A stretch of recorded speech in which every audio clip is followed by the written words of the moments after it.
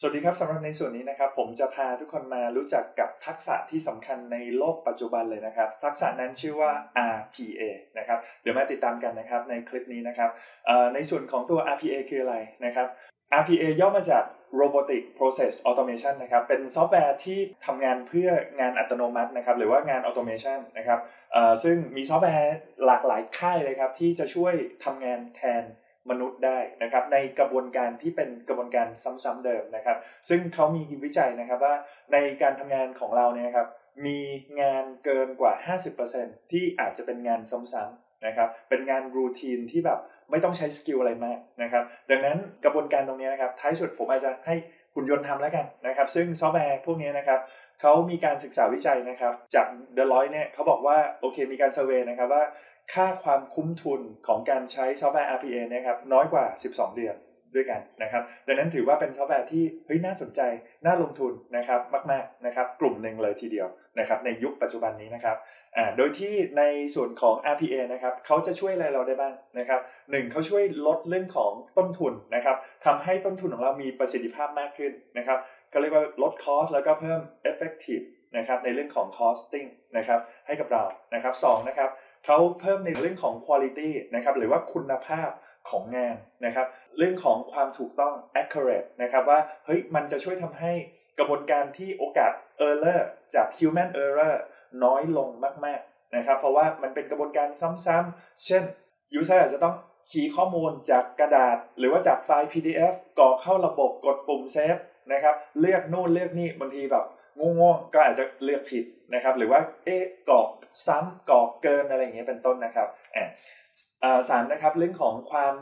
consistency นะครับก็คือแน่นอนเขาสามารถทำรันได้ทั้งวันเลยครับ แล้วก็กระบวนการนั้นเป็นกระบวนการที่รูทีนซ้ำๆเดิมนะครับ ดังนั้นก็จะได้ผลลัพธ์ที่เหมือนเหมือนเดิมนะครับ ดังนั้นถือว่าให้โรบอททำก็อาจจะช่วยทำให้มีประสิทธิภาพ มากขึ้นนะครับเรื่องของ productive เรื่องของผลผลิตนะครับของการทำงานด้วยนะครับว่าเฮ้ยท้ายที่สุดผมต้องการจะทำการ copy ข้อมูล ผมอยากจะทำการกรอกข้อมูล input ข้อมูลไปค้นหาข้อมูลนะครับมันอาจจะทำให้ทำงานได้ไวขึ้นทำงานได้ต่อเนื่องมากขึ้นนะครับแล้วก็เรื่องของการ management นะครับกระบวนการในการจัด การนะครับต่างๆก็จะดีขึ้นนะครับ เรื่องของงานบุคลากรก็ดีเเรื่องของคนเรื่องของอการ recruiting นะครับหรือเรื่องของการแก้ไขปรับปรุงเปลี่ยนแปลงนะครับ มันจะเป็นอีกกระบวนการหนึ่งเป็นวิธีคิดวิธีจัดการอีกแบบหนึ่งนะครับ ซึ่งถ้าเป็นผู้บริหารนะครับ เรื่องของ RPA ผมว่าเป็นเรื่องหนึ่งที่เรา จะช่วยในเรื่องของในในกระบวนการของการผลิตนะครับของเราได้ดีมากยิ่งขึ้นนะครับ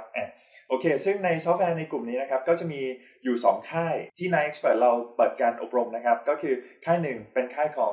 UiPath นะครับอีกค่ายหนึ่งก็คือเป็น Power Automate ซึ่งเป็นซอฟต์แวร์หนึ่งที่อยู่ภายใต้ ร่มเงา umbrella ของตัว Power Platform นะครับ ซึ่งซอฟต์แวร์ในกลุ่มนี้ประกอบด้วยอันดับแรกนะครับ Power BI Power BI เป็นซอฟต์แวร์ในเชิงของ Data Analytics เป็นเรื่องของ Output ครับ เป็นเรื่องของการเอาข้อมูลเยอะๆจำนวนมากเอามา analyze เอามาสร้างเป็น dashboard ได้ ที่ 9Expert เราก็มีตั้ง 5 คอร์สนะครับแบบลงลึกเข้าไปในแต่ละด้านเลยนะครับ Power App ครับ เป็นเรื่องของการเขียนแอป เพื่อท้ายสุดผมสามารถได้แอปบน mobile บนแท็บเล็ตนะครับ โดยใช้การเขียนโค้ดแบบ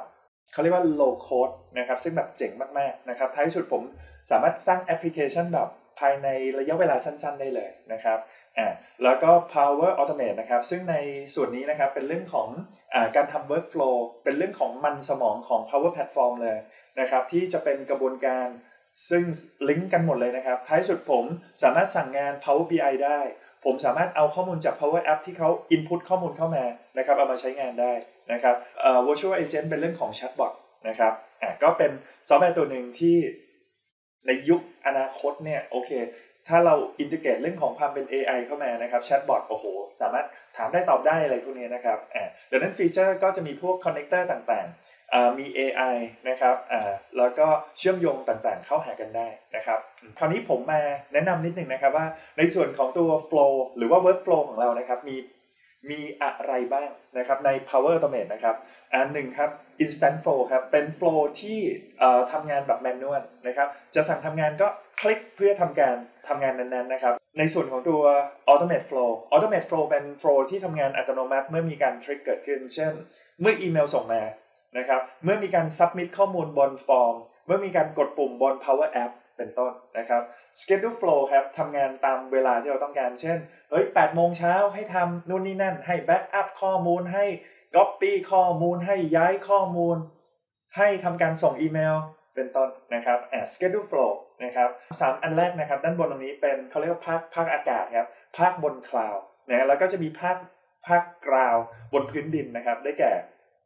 desktop flow หรือเรียกว่า UI flow นะครับ ซึ่งในส่วนตรงนี้นะครับ คือการควบคุมโปรแกรมต่างๆ บนเครื่องของเรานะครับ เช่นผมสั่งเปิด Excel ผมสั่งเปิดแอป ผมเอาข้อมูลจาก Excel มากรอกในแอป กดปุ่ม submit ตุ้มนะครับเข้ามาทำรัวๆทำมีเป็นร้อยเป็นพัน record ก็ปล่อยมันทำไปนะครับ นี่คือ RPA นะครับหรือว่าผมเอาข้อมูลที่ผมสนใจนะครับเฮ้ยผมอยากได้ข้อมูลตลาดหุ้น ปกติต้องไป search เอา ไป search ในเซตไป search ใน Google นะครับเพื่อได้ข้อมูลตรงนั้น ผมอาจจะทำสิ่งที่เรียกว่า web scraping นะครับเพื่อโหลดข้อมูลจากในหน้าเว็บจาก Google จากเว็บไซต์อะไรก็ได้ที่เราใช้ประจำนะครับทำงานเหมือนที่คนทำงานประจำนะครับแต่ว่าสั่งให้เป็นกระบวนการอัตโนมัติท้ายสุดเฮ้ยเอาเวลาตรงนั้นเอาไปทำอย่างอื่นที่มีคุณค่ามากยิ่งขึ้นซอฟต์แวร์ที่เกี่ยวข้องนะครับมี 1 Power Automate desktop นะครับเป็นซอฟต์แวร์ที่ใช้ในการ control เรื่องของ desktop flow นะครับมีซอฟต์แวร์ในส่วนที่2นะครับเป็น Power Automate on the cloud นะครับที่เราสามารถสมัครได้ฟรีนะครับใครที่ใช้ Office 365 อยู่แล้ว สามารถสร้างเหล่านี้ได้นะครับแล้วก็มี Power Automate สำหรับโมบายนะครับสำหรับเพื่อที่เราสามารถเปิดได้สั่งการได้ เปิดปิดได้นะครับหรือว่าแก้ไข workflow ได้เช่นเช่นกันอยู่บนมือถือเลยนะครับ แล้วก็มีอีกตัวหนึ่งนะครับ ชื่อว่า Data Gateway นะครับ ซึ่งในส่วนตรงนี้นะครับก็จะใช้ในการ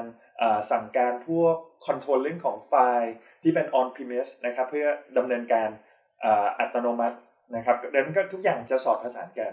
เห็นว่าโอ้โหมันมีซอฟต์แวร์ที่เกี่ยวข้องเยอะนะดังนั้น skill ตรงนี้ครับผมจะบอกว่าเป็นทักษะที่น่าสนใจนะครับแล้วก็น่าเรียนรู้มาก ๆ เลยครับ ที่ n i c e p e r นะครับตอนนี้เรามีคอร์สที่เป็น RPA ชื่อว่า Power Automate เราจะมีเวิร์กช็อปเราจะมี case study มากมาย ทั้งงานที่เป็นคลาวด์แล้วก็งานที่เป็นบนเครื่องนะครับ ทุกท่านสามารถเรียนรู้นะครับ แล้วก็พร้อมกับการปฏิบัติไปด้วยนะครับอ่าซึ่งถ้าสนใจอันนี้เข้ามาดูในเว็บไซต์ หรือว่าดาวน์โหลดเป็น PDF ไฟล์ได้นะครับ ตาม QR code ตรงนี้นะครับอ่าโอเค เราจะ control เรื่องของ workflow กันจะมีเคสหนึ่งที่น่าสนใจนะครับ อย่างเช่น การลิงก์กับ Power BI เพื่อทำ real time analytics เป็นต้นนะครับอ่าดังนั้นนี่คือ Power Automate for Business Automation นะครับ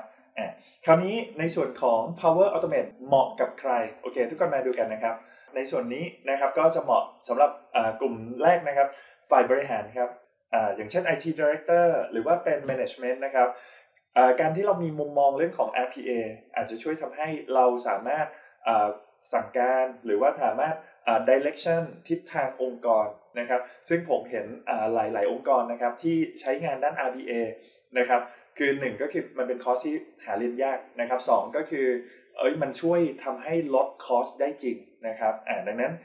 จริงคอร์สนี้ inspire มาจากผู้อบรมท่านหนึ่งที่แบบเอ้ยอาจารย์เปิดคอร์สนี้ให้หน่อยดิเพราะว่าอยากให้ส่งคนมาเรียนอะไรเงี้ยครับดังนั้นในงานด้าน automation นะครับท้ายสุด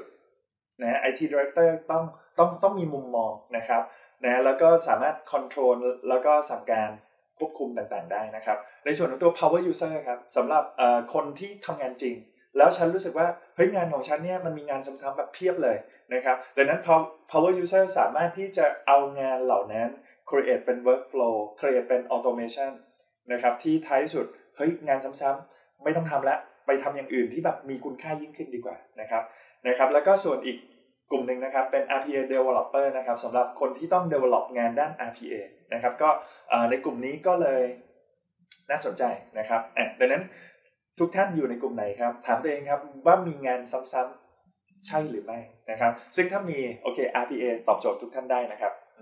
โอเค อันนี้ยกตัวอย่างนะครับของ case study อย่างเช่น ผมสามารถ control ในเรื่องของ location นะครับ ผมสามารถ ไปดูอุณหภูมินะครับในแต่ละวัน forecast ล่วงหน้าเป็นยังไงนะครับ ซึ่ง service พวกนี้นะครับ Power Automate สามารถคุยได้